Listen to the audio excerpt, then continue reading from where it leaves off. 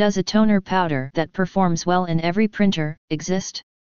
An universal toner powder that can be used in every toner cartridge does not exist. But there are toners that can be used in several type of cartridges. However, keep in mind that a toner powder could give a good print quality at the start, but, in the long run, it could damage the printer, especially the fusers. Particularly, be careful when you use not dedicated toner on high-speed printers or on printer using special paper, transparencies, glossy paper. Every type of toner has its own chemical content, particle diameter, melting point, fusing temperature, so use these informations at your own risk. If you want to use a non-dedicated toner, the first rule is to remove all the old toner from the cartridge. A toner powder is very difficult to precisely copy. It is impossible, for any manufacturer, to offer a perfectly compatible toner, that matches all the physical properties of the original. When used alone, a toner could offer an excellent quality, but when mixed with another toner, it does not work. The first thing to know, is that copier toners, and laser printer toners, are different.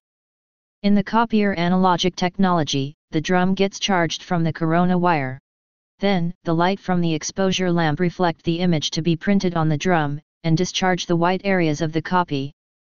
The areas to be printed remains charged. The laser printer's process is the opposite. The image is drawn on the drum by a laser, so the non-printed areas remain charged.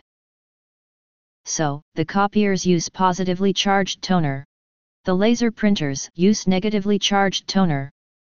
If you use a copier toner is a laser printer, you'll obtain a very light print.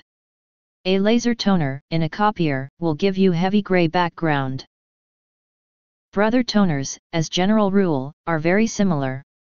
A good brother toner powder, can be used in almost all brother cartridges. In this type of cartridge, it's very important to remove all the old toner.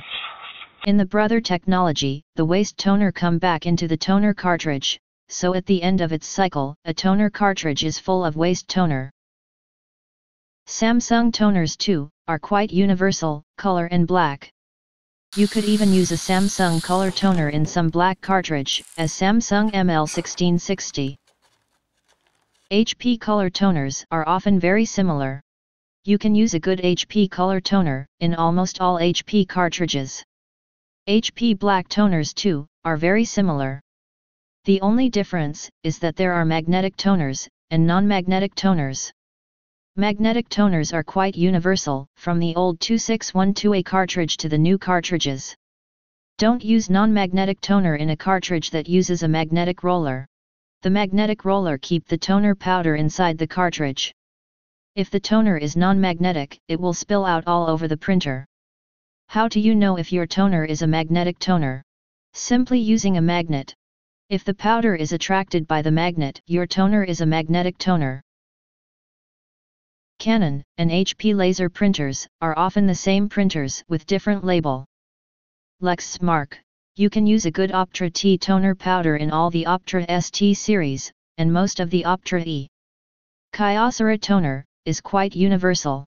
However, they are delicate machines, so you have to be very careful. Oki, the same.